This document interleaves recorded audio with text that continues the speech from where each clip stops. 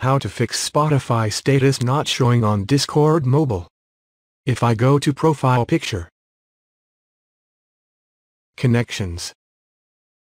As you can see my Spotify account is connected. Now I will go to my Spotify app and play a song.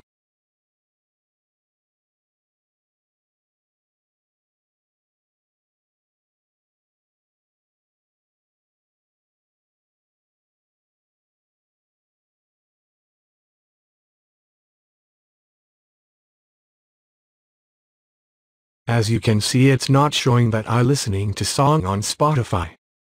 To fix this really quick, open Spotify app.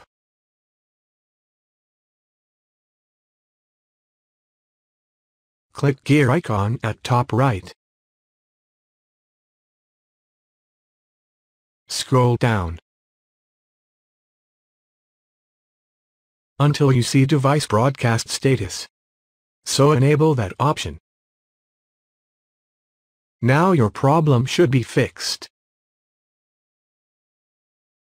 Let me show you that this works. As you can see it works.